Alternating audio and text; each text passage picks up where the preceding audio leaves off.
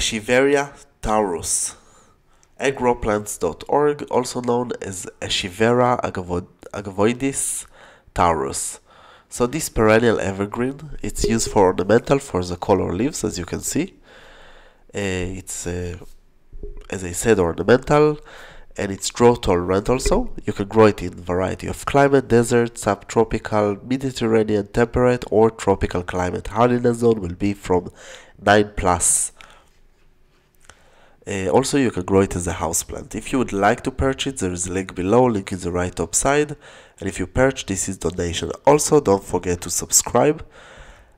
Uh, this is really help to this channel to grow. So, the Taurus uh, color leaf will be green, purple, red, pink, orange, and mostly more than one color. Uh, flowers can be, be uh, purple, blue, yellow and except this uh, it can it's grow with frost but better to grow it above 5, uh, 5 degrees Celsius. Uh, except this drainage of the soil it's uh, very important. And uh, except except the drainage that you need to take care there isn't a special requirement uh, to in order to the soil the soil is simple. By the way 5 degrees Celsius it's 40 40 something let's say 41, 42 uh, Fahrenheit, something like this, sorry, uh, probably I miscalculate. You can start to grow it by seeds, but really no point, it's just harder. Uh, better to start by cuttings, can be leaf or stem.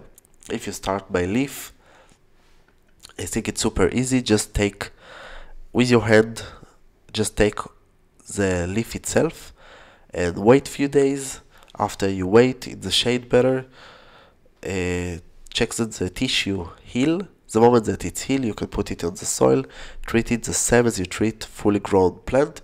If you start by stem, be aware that it's exactly the same, take a little bit more time to heal, and you need to have support sometimes that it won't fall, depend what kind of stem you take, but support will be important. If it's moved too much, it might want uh, root well.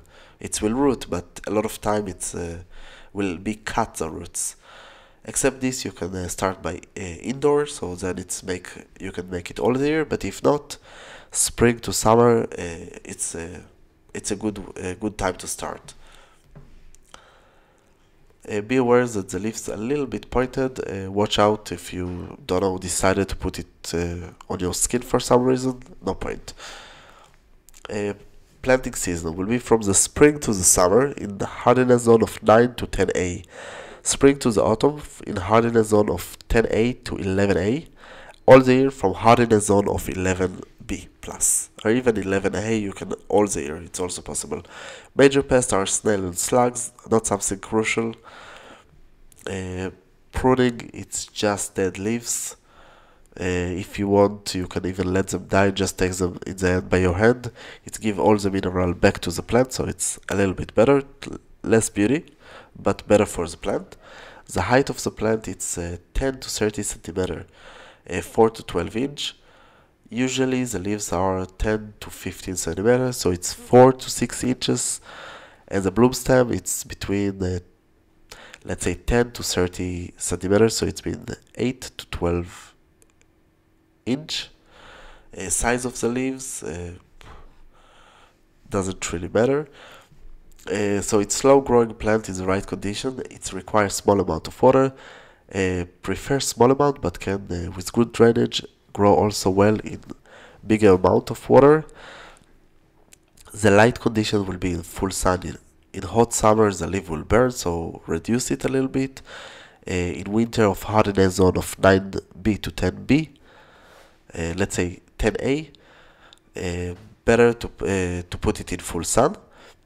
Half shade in hot climate will be better because it's burn the leaves but uh, if you don't have like a 46 or 47 celsius degree uh, that it's mean in fahrenheit just a second i will calculate uh, 110 120 fahrenheit something like this so uh, you can grow it actually in full sun half shade, uh, full shade with light, of course. You can grow it as a house plant in indoor, it's not a problem.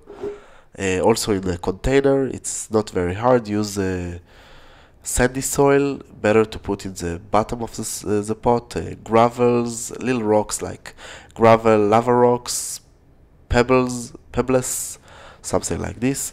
And this is will take care of the drainage. Uh, blooming season, it's in the summer. And except this, it's really easy to grow without special requirement. It's mostly you leave and forget, just put water once in a while. That it's, that's all. That's all from growplants.org. Don't forget to subscribe, visit our website, and of course, if you have any question, just ask. You have here links about more videos, some list, subscribe, and of course, purchase a plant, and this is donation for our channel. I hope you enjoy, and come visit us again.